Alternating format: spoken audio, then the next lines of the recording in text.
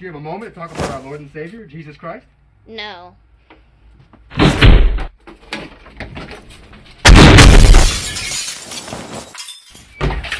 What the